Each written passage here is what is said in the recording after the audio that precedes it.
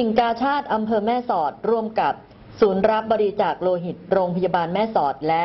วิทยาลัยเทคนิคแม่สอด จัดกิจกรรมรับบริจาคโลหิตค่ะ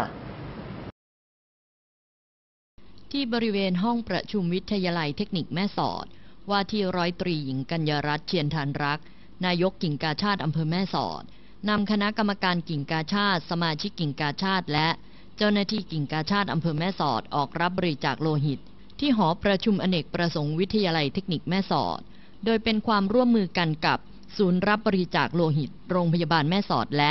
วิทยาลัยเทคนิคแม่สอด จัดกิจกรรมรับบริจาคโลหิต มีคณะครูอาจารย์และนักศึกษาให้ความสนใจ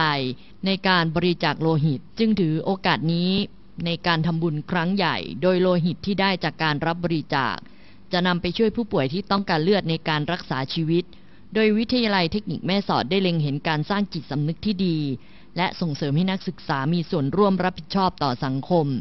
การบริจาคโลหิตเป็นการสร้างกุศลอันยิ่งใหญ่แก่เพื่อนมนุษย์ เป็นการทำความดีโดยไม่หวังสิ่งตอบแทน จึงจัดให้มีการบริจาคโลหิตในครั้งนี้ขึ้นสำหรับผู้ที่สนใจ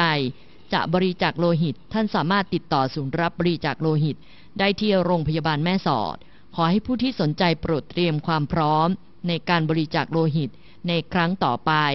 นอกจากนี้ยังมีผู้ที่สนใจบริจาคดวงตาและอวัยวะอีกหลายรายด้วยกัน